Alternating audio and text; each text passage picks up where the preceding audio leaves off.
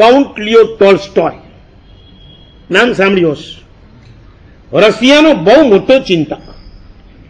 એણે ખૂબ પુસ્તકો લખ્યા. એક પુસ્તકમાં સરસ મજાની નાનકડી સ્ટોરી લખી છે. આફ્રિકાની અંદર સાઇબિરિયા નામનું એક જંગલ છે. બહુ વિશાળ, મોટું જંગલ છે. અને જંગલને અડીને પાછું રણ પણ છે. એક ધનિક માણસે એક દિવસ પ્રિન્ટ મીડિયાની અંદર એડ આપી. કે આ વિશાળ રણની અંદર જે માણસ સવારે સૂર્યોદયથી દોડવાનું શરૂ કરે, સાંજે પાછો રિટર્ન થાય, તો મારા તાબાની બધી જ જમીનનો એને માલિક બનાવી દઉં. અને જો એ રિટર્ન ના થાય, તો એને જિંદગીભર માટે મારા ગુલામ થઈ જવા ઘણા બધા લોકો આવે, સૂર્યોદયથી સ્ટાર્ટ કરે દોડવાનું. અગિયાર બાર, એક બે વાગ્યા સુધીમાં આગળ તો બહુ નીકળી જાય. રિવર્સ. રિટર્ન થવાનું ભૂલી જાય. અને ભૂલી જવાને કારણે સૂર્યાસ્ત વખતે જે પાછા આવવાનું હોય ત્યાં પહોંચી ના શકે. જિંદગી ભર માટે ઓલા શેઠિયાને ત્યાં વેઠિયા થઈ જાય. એક દિવસની વાત એક યુવાન આવ્યો. મંત્રી એને નક્કી કર્યું હતું, ગમે તે હિસાબે આજે સેંકડો કિલોમીટરની જગ્યાને મારે માલિક બની જવું છે. એને નક્કી કર્યું. કે દોડવાની પહેલી કન્ડિશન એ હોય છે કે તમારું વેઇટ છે ને ઓછું કરી નાખવું પડે.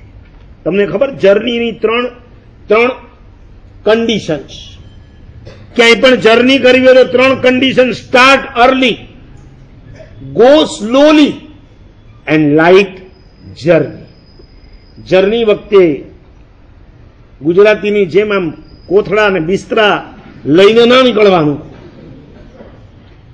ગુજરાતીઓ તો જાણે નીકળે ને તો આખું ઘર લઈને નીકળે. લાઇટ જર્ની જેટલું તમે જર્નીની અંદર લાઇટ હશો, એટલું વધારે ભાગી શકશો, તેજ ગતિથી દોડી શકશો. એને બે ચીજ રાખી. એક બાજુ ચાનું થર્મોસ, બીજી બાજુ ઠંડુ પાણી, એની વોટર બેગ બેને લટકાવી. બરાબર સન સાઇન થયો, સૂર્યોદય રાઇઝિંગ અને એને દોડવાનું શરૂ કર્યું. શરૂઆતના પાંચ, દસ કિલોમીટર સ્લોલી પછી ધીમે ધીમે ધીમે ધીમે એની સ્પીડ વધતી ગઈ. પંદર, વીસ, પચીસ, ત્રીસ, ચાલીસ, પચાસ, સાહીઠ, સિત્તેર કિલોમીટર. બાર, સાડા બાર વાગી ગયા. ઘડિયાળની અંદર જેવા સાડા બાર વાગ્યા, એને ખ્યાલ હતો. દોડવામાં જેટલા કલાક જોઈશે, એના કરતા રિટર્નમાં વધારે જોઈશે. કારણ કે સવારથી દોડ્યાના શું હોય? થાક. એને સાડા બાર વાગે પોતાની ગતિ સ્પીડ એને રોકી અને પછી પોતે યુટર્ન લીધો. જ્યારે થાક લાગે ગરમ ગરમ ચા પી લે, જરા વધારે પસીનો થઈ જાય પાણી પી લે, એમ કરતા કરતા કરતા એ પાછો આવવા માંડ્યો. ત્રણ વાગ્યા, ચાર વાગ્યા, આખા આફ્રિકાની અંદર સમાચાર પહોંચી ગયા કે આજે એક એવો યુવાન આવ્યો છે કે જે યુવાન આજે સેંકડો કિલોમીટરની જગ્યાનો માલિક થઈ જશે. આજ સુધીમાં હજારો લોકો આ જગ્યાના માલિક થવા માટે આવ્યા. બહુ સ્પીડમાં દોડ્યા, બહુ સ્પીડમાં દોડ્યા. પણ બિચારા બધા ફેલ ગયા. આજે આ લાગે છે કે આવી જશે.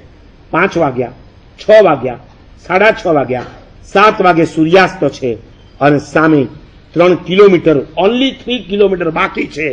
એણે દોડવાનું શરૂ કર્યું, હાંફી ગયો છે.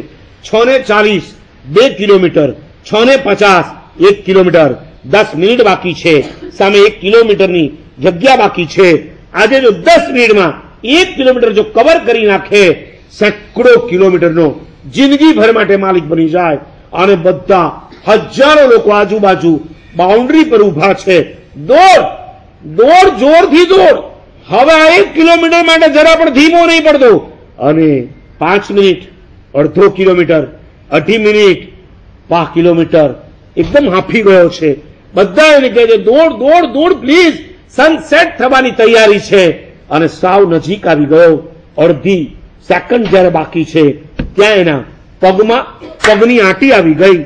સાડા ત્રણ ફૂટ દૂર હતી એની બાઉન્ડ્રી કોકે કીધું, હાથ લાંબો કરી દે. અને જેવો પડ્યો, એની સાથે એને હાથ લાંબો કરી ટચ કરી. બાઉન્ડ્રીને એને ટચ કરી હજારો લોકોએ ચીચિયારીને કિકિયારીઓ કરીને એની પાસે આવીને એને ઉઠાવી લીધો છે. એને ખભે બેસાડીને આજે ફેરવવો છે. ઓલા શેઠિયાને પણ આજે એના ગાલ પર જાણે તમાચો મારવો છે. આજ સુધી તો હજારોને વેઠિયા બનાવ્યા, આજે પહેલી વાર એક છોકરો જેને આજે હજારો, સેંકડો કિલોમીટરની જગ્યા કવરઅપ કરી લીધી છે.